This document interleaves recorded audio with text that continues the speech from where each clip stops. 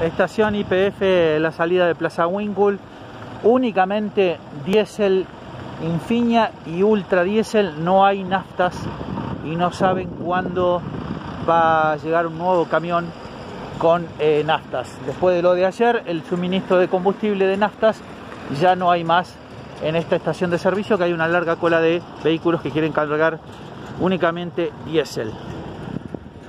Reiteramos, estación IPF Full, salida de la ciudad de Plaza Winkle.